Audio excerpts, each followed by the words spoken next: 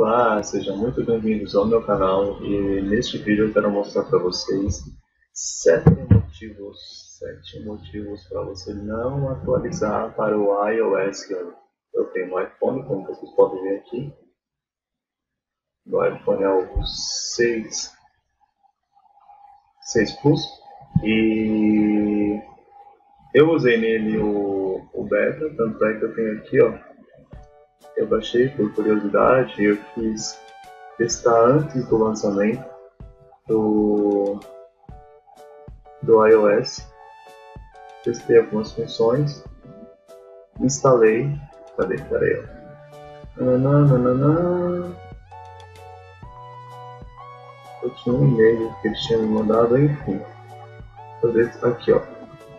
ó muito obrigado, eles estão aqui me agradecendo, ó muito obrigado por participar da versão beta, do programa beta da Apple. Enfim, eu testei e o que acontece? O, o telefone ele descarrega muito rápido, então um dos primeiros problemas é a bateria. Você carrega o telefone, você tira do carregador, você passa a usar o aparelho e ele descarrega muito rápido. Cerca assim de uma hora você com uso constante você já não tem mais bateria. Então a, o, o primeiro ponto é esse, a bateria está descarregando assim absurdamente rápido. O segundo ponto é o seguinte. Segunda dica para você não atualizar. Às vezes a tela não desbloqueia com o Touch ID. Não desbloqueia você pressiona, pressiona, pressiona, pressiona, pressiona e não desbloqueia. Não desbloqueia, não é assim, ó, ó. Desbloqueou. Não. Você tem que forçar mesmo com a senha. Então, essa daí é a segunda dica para você não atualizar. Espera um tempinho, gente, para atualizar. Um outro ponto é, a Siri é uma Siri renovada, ela não é essa Siri robotizada, é uma Siri até que bonita, comparada com a Siri do iOS 10 é, ela tem a fala mais bonita, ela pronuncia as palavras de uma forma menos robotizada, como é legal, mas ela trava demais. Às vezes você chama ela pelo botão home aqui do aparelho. Desculpa. Pelo botão home aqui do aparelho, você pressiona segura e ela não responde aos seus comandos. Então assim que está travando bastante. O terceiro ponto é erro de backup se você usar iCloud para fazer backup, os backups não estão sendo realizados por alguma falha também do sistema. O quinto ponto, que acho que é bem importante esse e é o mais chato de todos, é o seguinte: o aparelho ele está fechando os aplicativos sozinho. Você está lá no seu Facebook, você está usando o Facebook e do nada ele fecha. Você está digitando um texto no WhatsApp e do nada ele fecha né? Muito ruim isso também. Você está no Instagram postando uma foto, está lá digitando a legenda, já postou tudo, fez todas as edições que você precisava fazer e está lá para postar o aparelho, fecha o aplicativo e você tem que fazer tudo de novo. Muito ruim isso aí. Quinto ponto. Sexto ponto, que eu acho que é o que interfere no primeiro ponto, é Wi-Fi e Bluetooth. Wi-Fi Bluetooth fica constantemente ligado, que acho que é isso que interfere no uso excessivo da bateria. A bateria embora super rápido. É... Eu cheguei a carregar meu telefone, eu usando por cerca de 20 minutos e a bateria carreguei o telefone 100%, usei e cerca de uns 20 ou 30 minutos a bateria desceu para 70%. Depois de mais uns 40 minutos já não tinha bateria mais. Ele estava piscando no vermelho aqui e estava pedindo para carregar novamente. Então acho que a, a causa da, do uso excessivo da bateria é que o Wi-Fi e o Bluetooth eles ficam ligados constantemente. O sétimo ponto aí, o aparelho desliga sozinho. Isso mesmo, o seu aparelho você tem praticamente ele como morto você aperta esse botão, você aperta esse botão ele não responde. Você liga na tomada, no carregador e ele não responde. A impressão que você tem que ele queimou, que ele estragou. Mas não é, é uma falha do iOS, iOS, desculpa.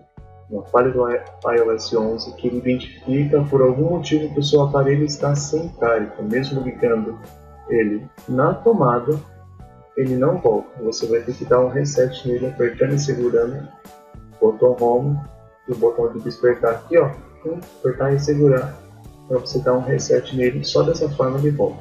Então, fica aí a dica, são sete dicas que eu passei para vocês para não atualizar. Espera até sair uma versão paralela a essa do lançamento, que é a, que é a 11, né? iOS 11. Espera aí aparecer uma versão paralela a essa, porque está com muita falha. Eu costumo dizer assim, é, principalmente comparar é, referente à Apple.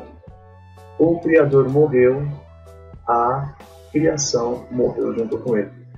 Olha, novidade era quando o fundador, o dono, o criador de toda essa tecnologia estava vivo e criava os aparelhos. Você via o lançamento dos telefones da Apple, você falava, oh. Hoje em dia, não. Hoje em dia você percebe que a Apple está correndo muito atrás de recurso que no Android já tem faz muito tempo igual. Nessa, nessa nova versão do iOS 11, é possível gravar a tela do aparelho, uma coisa que era praticamente impossível se você não fizesse root. Agora é possível você gravar a tela do aparelho. De alguns determinados aplicativos você consegue capturar a tela do aparelho. Isso já tem no Android ó, faz muito tempo. Então, os lançamentos tanto de aparelhos, aparelhos como de sistema não é mais uma novidade. O criador morreu e toda toda a ideia que o cara tinha, toda aquela criatividade, infelizmente morreu com ele. Hoje eu vejo a Apple como uma empresa que ela está se mantendo no mercado. Ela não tem muita novidade nem referente à tecnologia e nem novidades mesmo gritantes assim que você vê nos sistemas operacionais dela. É, você vê isso muito nos sistemas é, tanto para celulares como para. Eu tenho um iMac também, e você não vê novidade nenhuma diferente ao sistema. É somente correndo atrás daquilo que parece que ela tá ficando meia para trás, entendeu? Você não vê novidade criada por eles. É bem raro hoje em dia você ver. É, esse vídeo vai ficando por aqui, eu espero que eu tenha ajudado vocês e a gente espera, espera para vocês não se decepcionar na hora de atualizar, porque a sua bateria vai embora muito rápido, isso eu falo por experiência própria. A bateria vai embora rápido. Então, olha do crush. Crush. Olha do crush. Então, fica assim, é. pra você. Ó, o cara vendendo pizza de 10 reais. Sabe que presta? Eu não tenho coragem de comprar, você tem? Enfim. não atualiza, porque vai travar o seu aparelho, você vai ficar chateado, porque os aplicativos vão fechar sozinho, o seu telefone uma hora ou outra vai desligar sozinho e a bateria vai acabar rápido. Então espera aí uma atualização, dá uma segurada, não é novidade gritante, você não está perdendo nada se você ficar no iOS 10. Então voltando, então você vai comprar a pizza dele. Tá? Você não está perdendo nada nada, se você está no iOS 10, não tem nada gritante na atualização. Nada de muito novo, não. Fica tranquilo aí, dá uma segurada, espera chegar uma atualização nova para você estar ficando por aqui. Um abraço. Se te ajudei, se você gostou desse vídeo, curta, comenta e dá uma compartilhada aí também para quem tem o um aparelho, para não atualizar agora, para não ter problema. Um abraço, um beijo e fiquem com Deus.